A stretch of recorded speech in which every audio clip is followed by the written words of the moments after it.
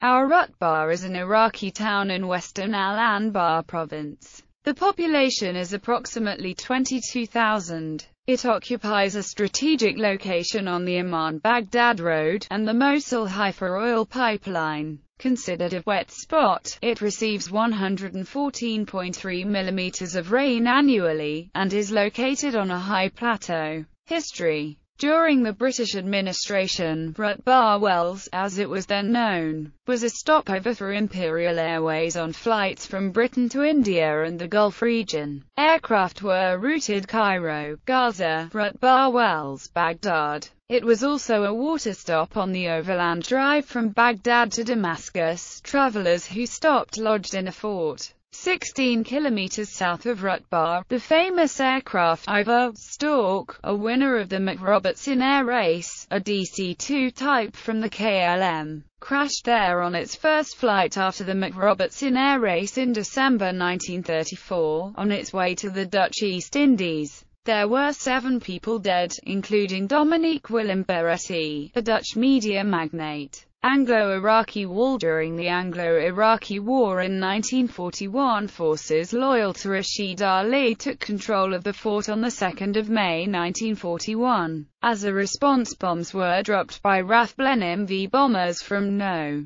203 Squadron RAF on and around the fort. The fort was retaken by Arab Legion forces with support from No. 2 Armored Car Company RAF after the fort defenders left overnight on 10 May. Persian Gulf War Due to Rutbah's strategic location, the town has played a role in later conflicts between the United States and Iraq. During the Persian Gulf War of 1991 it was reportedly a Scud launching location. Operation Iraqi Freedom After the 2003 invasion of Iraq, the base was occupied by the Army's 3D Armored Cavalry Regiment and was known as Fob Buzz. An army captain was charged and court-martialed for staging mock executions of Iraqi prisoners. In 2004, Marines from Regimental Combat Team 7 relieved the Army soldiers and took control of the town, resolving to engage the populace more proactively. By July 2004, Camp Korean Village, a Marine logistical support base, was established nearby. The base served as a regional airfield, convoy rest stop, shock trauma hospital and headquarters of the local Marine garrison. The base is named after the historical lineage of the Marine Corps 7th Marine Regiment who fought during the Korean War. On January 26, 2005, a Marine CH-53E Super Stallion helicopter crashed outside of town, killing 30 Marines and one Navy corpsman. This was the single deadliest day for American forces in the Iraq conflict. The cause of the crash was a severe windstorm that had come upon him unexpectedly. By March 2006, the city was being guarded by elements of the 2nd Light Armored Reconnaissance Battalion and an Iraqi rifle company from the 3D Brigade, 7th Infantry Division, Iraqi Army,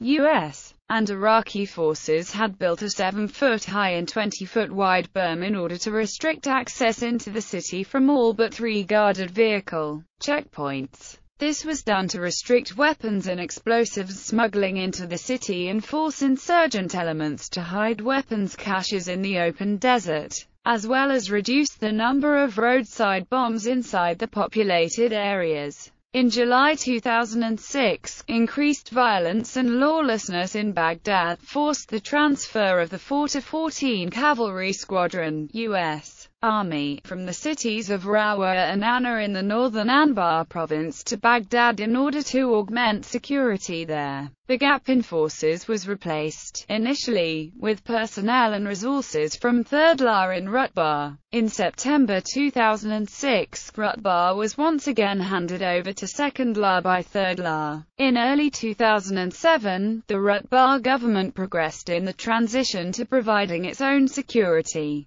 The town's efforts included recruiting approximately 200 men to send to an Iraqi police training academy to increase counterinsurgency practices. In March 2009 the Marines transferred control of Camp Korean Village over to CCO. 2 to 142 Infantry 56th, IBCT 36th Infantry Division which is a Texas Army National Guard unit. Control was then turned over to CCO 186th INF Oregon Army National Guard. The camp was handed over to the Iraqi Army on May 1, 2010. ISIL controlled the Islamic State in Iraq and the Levant or ISIL took control of several Anbar province towns in 2014 and on the 22nd of June 2014 a member of the local council told the New York Times that around 50 vehicles full of militants and weapons came from Mawran Valley and after sporadic clashes with police they took control over the central town. Then they left a group of them to secure the town and then headed toward the border. On the 24th of June a Syrian Air Force raid on Rub